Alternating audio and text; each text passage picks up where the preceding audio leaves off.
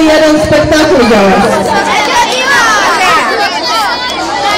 To drugi put večeras,